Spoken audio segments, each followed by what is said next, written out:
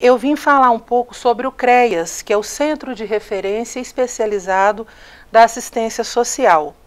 Né, para que vocês possam conhecer um pouco mais do nosso papel, do nosso trabalho e assim né, fortalecer ainda mais essa rede de proteção às nossas crianças. Então, qual que é o papel do CREAS dentro dessa luta contra a exploração e o abuso sexual de crianças e adolescentes? Né? O CREAS ele vem como uma forma né, é, de apoio e auxílio mesmo às famílias e às crianças que são vítimas. É, a gente trabalha né, juntamente com a delegacia, com o Conselho Tutelar e todos os órgãos de proteção, justamente para oferecer esse suporte a essas crianças e esses adolescentes que são vítimas de, de violência sexual. A gente sabe que existe inúmeras formas de uma criança ou de um adolescente sofrer vi é, violência. Né? Nós temos a violência física, a violência psicológica, a violência moral, a violência patrimonial e temos também a violência sexual, né? que ela pode acontecer na forma de abuso ou na forma de exploração sexual. E a gente sabe que isso se configura um crime. Por que, que é um crime? Né? Porque crianças e adolescentes elas estão num processo de desenvolvimento, numa formação da sua personalidade, na formação da sua subjetividade, e quando ela é exposta a um tipo de violência sexual, ou seja, ela é forçada por um adulto, por uma pessoa, né, dita responsável, a praticar atos é, de, né, de cunho sexual que não estejam apropriados ou que não estejam adequados para a sua idade, ela vai vivenciar, ela vai experienciar é, coisas que não são próprios para aquele momento. E pode, num futuro, ter transtornos, é, ter consequências muito graves, tanto emocionais quanto psicológicas para essa criança e adolescente. Nós sabemos que a família é, é, o principal né, protetor dessas crianças. Mas a gente sabe também que é dentro das famílias que muitas vezes aquele abusador ou aquela pessoa que vai estar abusando está é, tá no seio da família. Né? E aí fica complicado né, de como que aquela família que deveria estar protegendo, né, ela está praticando um ato de violência. Por isso também é função do Estado atuar como protetores dessas crianças para que elas tenham uma infância digna, para que elas tenham né, um, uma possibilidade de crescer de forma saudável. É, então, o Estado ele também é responsável né, por garantir essa proteção a essas crianças e aos seus adolescentes.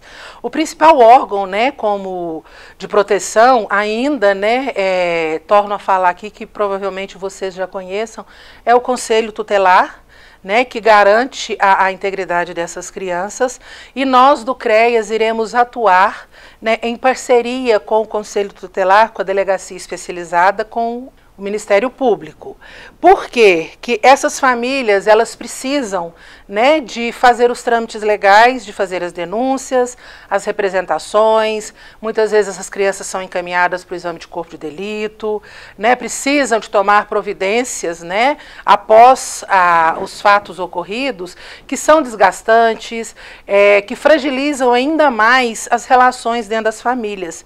E essas crianças e adolescentes, muitas vezes, elas ficam fragilizadas, elas ficam constrangidas, né, elas ficam é, com medo de serem rejeitadas, de, né, de sofrerem preconceitos por causa dessa situação sofridas por elas. É, as crianças e adolescentes, muitas vezes, elas se sentem culpadas né, pelo, pelo que ocorreu, achando que é responsabilidade delas é, a ocorrência desse abuso né, sexual que, que ela vivenciou. O que a gente trabalha no CREAS é justamente o apoio a essas famílias, a essas crianças, né, no sentido de orientá-las né, e de empoderá-las, de dar autonomia e de trabalhar com elas, né, através do atendimento psicossocial, essa capacidade de resiliência, né, essa capacidade de elaborar esse acontecimento né, para que possa seguir né, na sua vida de forma saudável.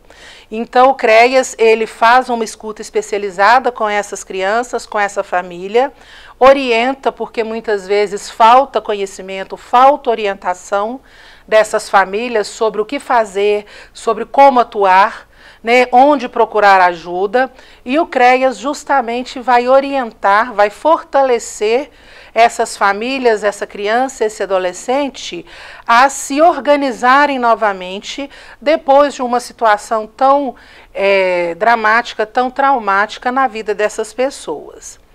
O que a gente orienta sempre, né, com crianças, adolescentes e com a família, é que essas crianças elas tenham o contato, né, que mantenham contato e elejam uma pessoa de confiança no seu círculo de convívio, né, independente se sejam pessoas de dentro da família ou não, mas que elas tenham alguém a quem podem confiar, né, e que tenha certeza de que vai auxiliá-las é, quando ocorrer alguma situação desconfortável, indesejada.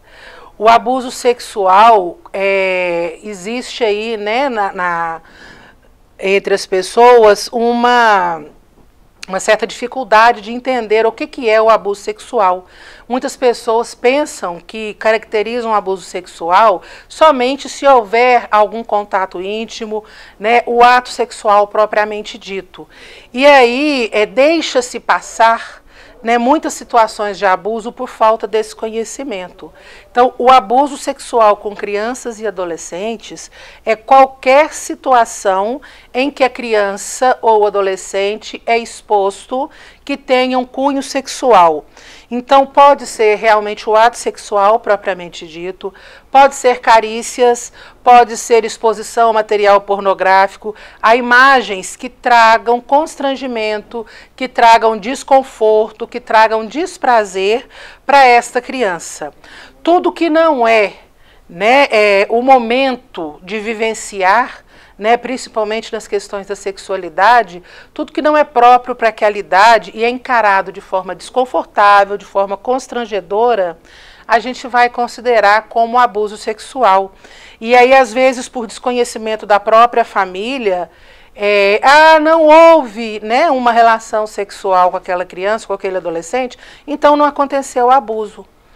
Mas, na verdade, qualquer exposição ao material de cunho sexual a gente caracteriza como abuso, interfere sim na integridade e no desenvolvimento dessas crianças.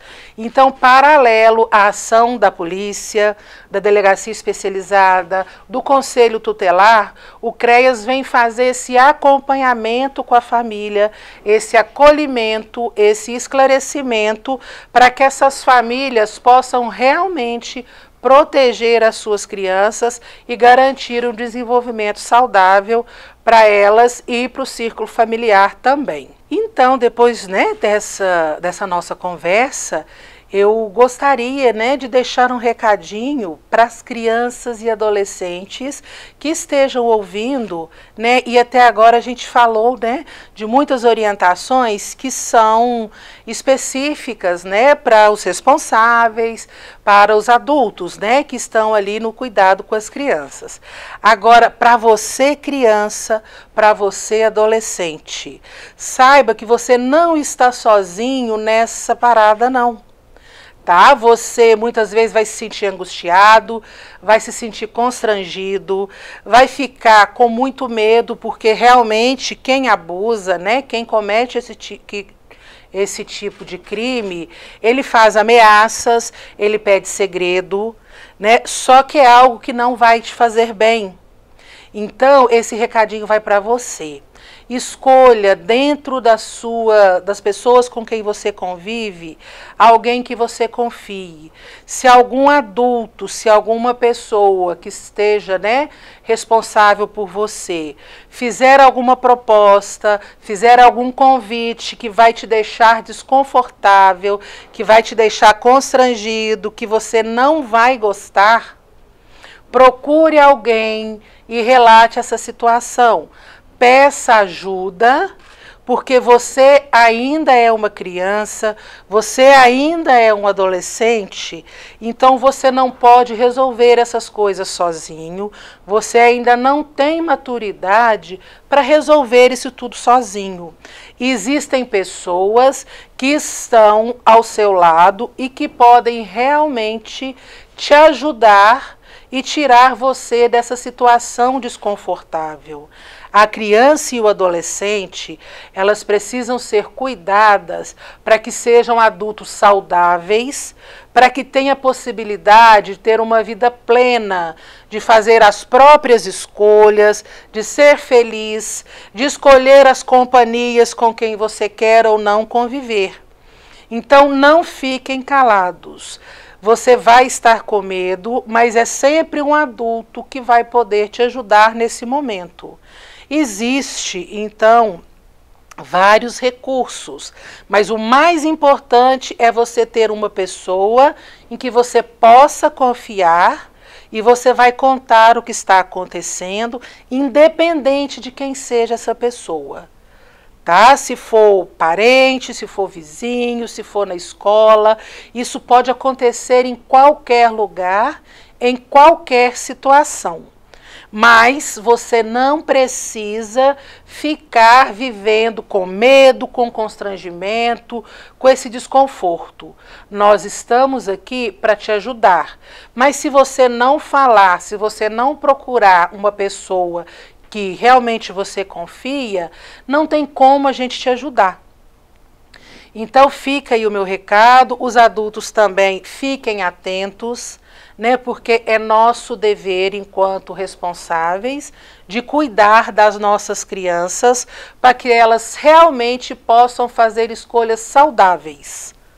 Tá? Um forte abraço e vamos não só no mês de maio laranja, mas vamos proteger as nossas crianças todos os dias, porque depende dessas crianças os adultos saudáveis que nós vamos ter no nosso futuro.